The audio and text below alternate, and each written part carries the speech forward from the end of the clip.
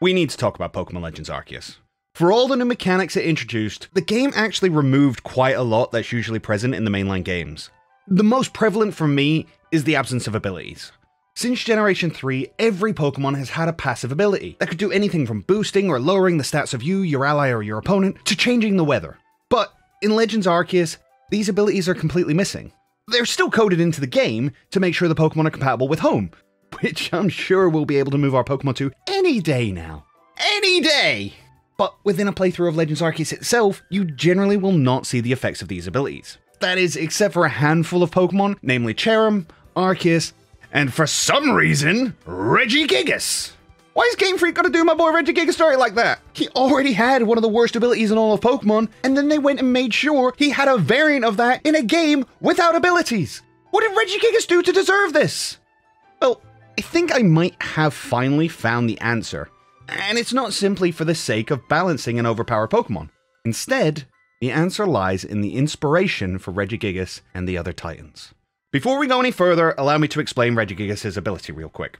Slow start. The Pokemon's attack and speed are cut in half for 5 turns. As I said, it's one of the worst abilities in the entire series, and it does exactly the same thing in Legends, though acts as a status condition instead of an ability. And negative abilities aren't unheard of in Pokemon, one of the most famous ones being Slaking and its Truant ability. And it makes sense on that Pokemon. Firstly, it's a sloth, so being lazy is kind of in its nature, but it also has stats on par with legendary Pokemon with a base stat total of 670. As something you can evolve from a Pokemon found in the early routes of its home region, yeah, I'm not surprised it needs some way to balance those stats out. And Regigigas has the same base stat total, so it only makes sense for it to have a nerf through its ability too, right? No, it doesn't. Slaking has the stats of a legendary, but Regigigas is a legendary. It deserves those stats. It's also introduced in the same game as three other legendaries with 10 more points in their base stat total, and Arceus, who has the highest base stat total of any non Mega Pokemon and the same typing. And then there's Rayquaza, who starts with a base stat total of 680, already higher than Regigigas, and then Mega Evolves without using a held item and reaches a stupidly high base stat total of 780. Regigigas does not need balancing. So, why do I think Slow Start exists? Well, if you didn't know, all of the Regis are based on golems, beings made of inanimate matter that have been brought to life, usually made from clay or stone and used as protectors or servants. They originate from Jewish folklore and are said to be brought to life with the use of a Shem, one of the names of God written on a piece of parchment, which is then placed on the forehead or in the mouth of the golem. These golems, although alive, are not sentient. They are mute and will mindlessly follow the instructions of their creator. They have no sense of right and wrong or good and evil. And yet, if mishandled, they can be incredibly dangerous or even deadly as is the case with the most famous golem story, the Golem of Prague. In an attempt to defend the Jewish population of Prague's ghetto in the 16th century, Rabbi Loew, with the assistance of two other Kabbalists, brought a golem to life. The golem was named Yosef, and he wreaked havoc on those who wished to prosecute the Jews. Yosef was a savior to the rabbi and his people of the ghetto, but his power would continue to grow with every day that passed. Rabbi Loew ensured that every week before the Sabbath, the Shem would be removed from Yosef so that he could rest, as all who follow the faith should. Then, two days later, he would be reawakened to continue his duties. One week, however, after an ordeal occurred and Rabbi Loew's mind was distracted, he forgot to remove the Shem from Yosef. A frantic person rushed into the synagogue to tell Rabbi Loew that the golem had gone berserk the rabbi realized his mistake and rushed to find the golem in the midst of a destructive rampage. He quickly removed the Shem from Yosef, and the golem fell motionless. According to legend, the rabbi stored Yosef in the attic of the synagogue, where it would lie in wait should its strength ever be needed again. I believe that this particular story of a golem is the one that Regigigas is based on. Yosef would be put to rest on the Sabbath, which, for followers of the Jewish faith, begins on Friday evening. He would then be awoken on the eve of Sunday to fulfill his duties once more. Then, the one time he was not allowed to rest after those five days, his strength became uncontrollable. After five turns, the effects of Slow Start lift, and Regigigas' strength effectively doubles.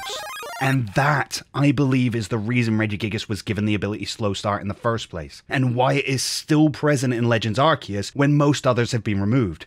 because it is intrinsic to the lore that Regigigas is based on. It's also not the only similarities between Regigigas and the story of Yosef. The rabbi locked away Yosef through fear of its power. We know Regigigas is sealed away in Snowpoint Temple, and if we read the Braille inscriptions in the sealed chamber, we learn that it was sealed away because people feared it. There, like Yosef, it awaits for the day when its strength will be required again. But the rabbi removed the Shem from Yosef in order to deactivate him. How did people manage to quell the Raging Titan? And wasn't it Arceus who created Regigigas who in turn made the other Regis? People had nothing to do with it, right? Well, I have a theory that ties all of this together. But you're gonna have to come with me on this one, and then I'll explain my thinking afterwards. In the beginning, Arceus created Dialga, Palkia, and Giratina. Sadly, Giratina was a bot and needed to be banished. So next, he created Kyogre, Groudon, and Rayquaza. Unfortunately, they couldn't stop fighting each other. Arceus needed a servant to aid in shaping the world, one who would fulfill its wishes without compromise. So, Arceus created the first golem, Regigigas. It did so by forming the Titan with Arceus' own name upon its face, with an alphabet that uses seven dots. To aid in its task, Regigigas would create more golems, all of whom also had one of the names of God marked upon their face in the seven dot alphabet. Eventually, humans came to be. Seeing the power that the Titans possessed, they worshipped them, but they also wished to control them. They did this by learning the name of God, and using their own six dot alphabet, aka Braille, they took control of the master of the Titans. So they placed rubies, sapphires, and iron balls upon it, arranged in the form of their six dot alphabet. Regigigas and all of its fellow golems were now under the control of the humans, but they could only control them for a limited time. One day, the humans forgot to allow Regigigas to rest, and it went on a rampage. Fearful of its power and losing control again, they sealed all the Titans away in temples across multiple regions.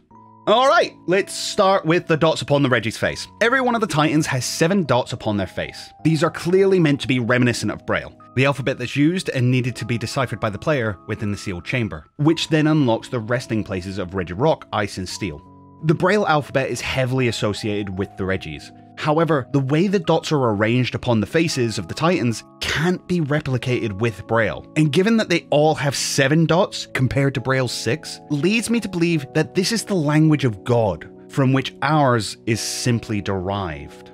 The other place we find Braille within the games is the Sevii Islands, at Mount Ember and at the Dotted Hole the locations that hold a singular ruby and sapphire respectively. Within the story of the Pokemon Adventures manga, a ruby and sapphire are shown to be the original form of the red and blue orbs, which we know to possess a power similar to that of Infinity Energy, the life energy of all Pokemon, as they allow Groudon and Kyogre to primal revert.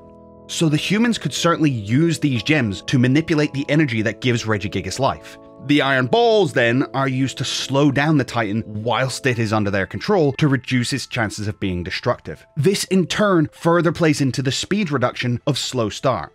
Regigigas is the only one of the Titans to have six dots upon its chest, but this is not in fact the only place we see something like this.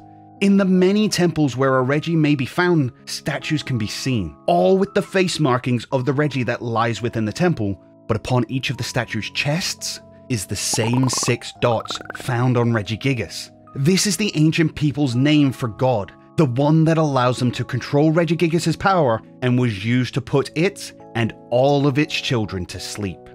So, there you have it. Do you agree with this origin of Regigigas, and do you have your own ideas as to why it was cursed with such a terrible ability? Let me know in the comments below. And while you're down there, hit the like button and subscribe so that you don't miss out on future theories, because that's gonna do it for today, guys. Thank you very much for watching. We hope you enjoyed it, and we hope you join us again on the next one. But until then, we'll catch you later. Be sure to subscribe, like, comment, ring the bell, do all the YouTube things, and I shall see you on the next episode.